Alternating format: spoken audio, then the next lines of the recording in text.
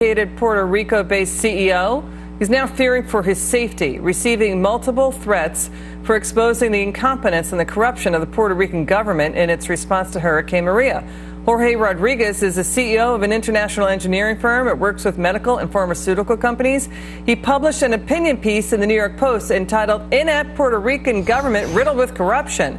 He says, quote, for the last 30 years, the Puerto Rican government has been completely inept at handling regular societal needs. So I just don't see it functioning in a crisis like this one. Even before the hurricane hit, water and power systems were already broken. And our $118 billion debt crisis, it's a result of government corruption and mismanagement.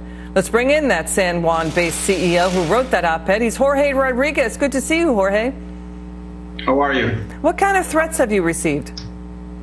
Well, it's been a lot of uh, hate um, mail and threats. Uh, they're going to kick me out of the country, that I don't belong here, that I'm not a Puerto Rican, that I'm, you know, throwing them under the bus, that I'm selling them. Uh, shame on me.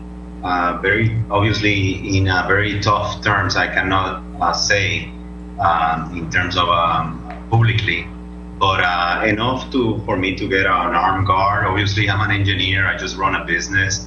Never done anything with government, so um, I got extremely scared. And then for my safety, I had to get some 24/7 uh, armed guard. You know? Well, this sounds awful. Um, Jorge, yes. can you tell us what corruption and what is the incompetence that you see in the Puerto Rican government?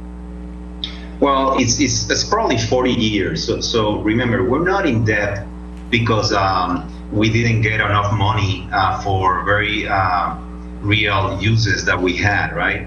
So we're 3.7 million people over 40 years. We've used, uh, if you take the service charge of uh, raising the, the bonds uh, money, it's probably about, it comes out to be probably not, um, it's 118. So it comes out to be about 82 billion um, 85 billion in 30, 35 years. Uh, we don't have anything to, to claim for in terms of assets. We have like a coliseum, basketball coliseum, uh, concert venue. We have a convention center. Uh, nothing else. We don't have schools. We don't have bridges. We don't have roads. We don't have an airport. So obviously, it's just obvious. Is, I'm not saying anything that is new. It's been totally mishandled, misappropriated and just uh, the corruption of 40 years that has, you know, just uh, eroded all our structures, our systems, and our processes in terms of government providing the societal needs of its of its community. Jorge, where did the money go? I think it went to the pockets of uh, politicians and their contractors that are, uh, you know, playing. Um, uh, how you say it, uh, I don't know how you may say it in, in English, uh, a good word, but you know, it's uh, we call it pick span. It's like uh, I scratch your back, you scratch mine, and they just between them. That's it's very simple. That's why you have uh, we have three, you know, between poor people, mid class people, and and um, rich people. Uh, you have a, a, very small percentage, two or three that are rich, then okay. our middle class, which is just living, and then the, the poor. So our okay. income per capita for the last 40 years has been 18,000. It went from 16,000 up to 18,000. Mississippi 30 years ago was almost the same as ours.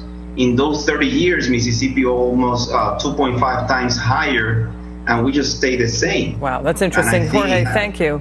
That's really interesting yes. analysis there. Jorge, we'd love to have you back, and please stay sure. safe.